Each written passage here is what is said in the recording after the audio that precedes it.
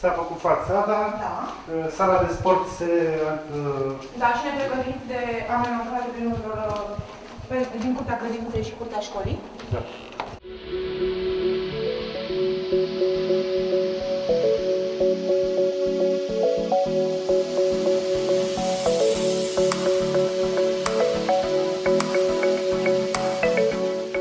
De când lucrează? De când s-au apucat? Cred că au în jur, de, să zic, cam a treia săptămână să fie. Cu exterior, cu tot. Au și făcut și exteriorul. Și aici mai au de, tot așa niște retușuri.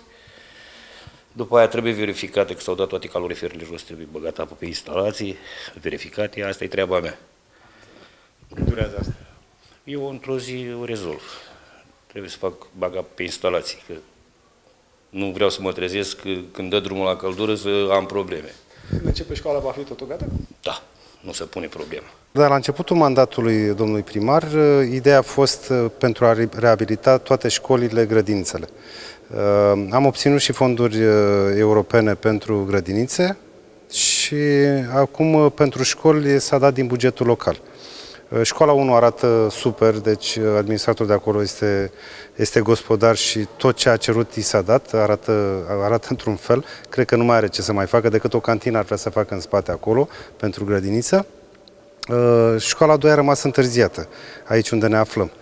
Uh, Anul ăsta s-a hotărât doamna și a solicitat fonduri de la, de la uh, primărie, de la Consiliul Local și li s-a, li s-a dat uh, pentru sala de sport uh, vopsit, uh, igienizat, uh, schimbat gratii uh, pentru școală. Școală uh, au fost uh, uh, burlanele schimbate, uh, fațada, fațada făcută. Am înțeles că în valoare de 240.000 de lei. Uh, Se lucrează cam de o lună de zile aproximativ și sunt la stadiu aproape de finalizarea lucrărilor. Uh, La începerea școlii pe 9 septembrie, bineînțeles, va, va fi gata, deja se lucrează, se, școala în interior s-a, s-a văruit, s-a igienizat, deci sunt pregătiți acum cu curățenie și se va, până pe 9 septembrie vor fi gata.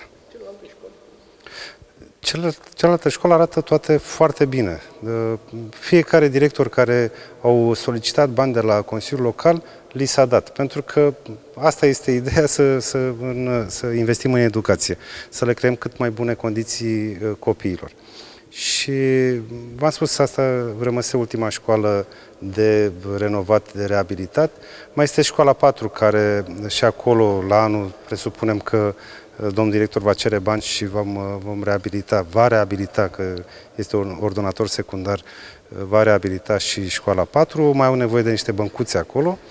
Uh, Da, este ultima rămasă. Da. Și în rest uh, arată bine. Mai sunt mici, mici probleme la uh, licee unde ne, ne-au solicitat pentru tâmplărie, vor să schimbe toată tâmplăria. Dar uh, la anul, dacă ne permite bugetul și cred că o să ne permită, vom, uh, vom închide tot ce înseamnă școli.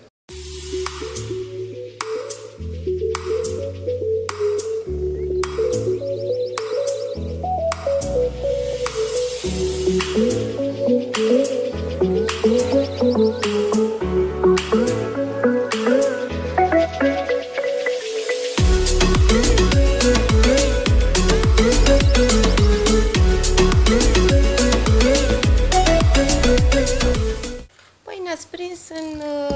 proces de igienizare și de pregătirea sălilor de clasă a întregii unități. Am început uh, deja m, zugrăveala, dacă m, puteți să intrați în sălile de clasă. Suntem la etajul 2, pregătim sălile pregătitoare și apoi vom coborâ la etajul 1 și la parter. Uh, Despre dotări ce pot să vă spun? Școala noastră e destul de bine dotată. Uh, Noi uh, avem o relație foarte bună cu reprezentanții uh, primăriei și ai Consiliului Local. Uh, Ce înseamnă o relație bună? Uh, Noi am venit cu argumente.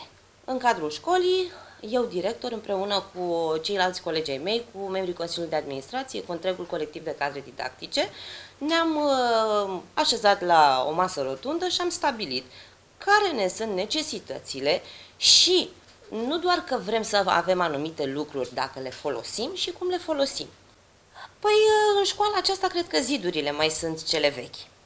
Începând de la mobilier, material didactic, fiecare clasă este dotată cu uh, sistem audio, cu laptop, cu blaz, uh, ba, uh, tablă magnetică, avem și o tablă interactivă în sala de videoproiecție și ne sunt uh, foarte necesare. Cadrele didactice le folosesc uh, zilnic, Uh, nu, nu e zi în care să nu fie aprins laptop într-o sală de clasă și mai avem un nou proiect care trebuie dus la uh, capăt până la finalul anului uh, calendaristic, până la 31 decembrie. Ne-am propus noi ca în spatele clădirii este un atelier.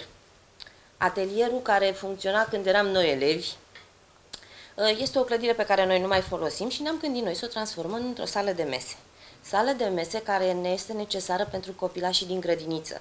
La noi în grădiniță, în sala de clasă, acolo copilul uh, stă la activități de la 8 la 12, acolo ia masa și acolo doarme. Și am considerat noi că uh, a lua masa în aceeași sală unde și doarme nu este ok. Și atunci am profitat de existența acestei clădiri și vom, vrem să o transformăm în uh, sală de mese nu ne este necesară doar pentru ei. Știți că în învățământ uh, au dat drumul la acel program uh, cu hrană la școală. Și dacă vom uh, intra la un moment dat și noi în acest program, se va generaliza la nivel național, atunci vom putea să dăm masa și copiilor din școală.